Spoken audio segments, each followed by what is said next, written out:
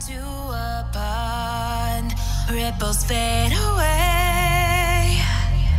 Human hearts aren't so lucky. Those battle scars remain.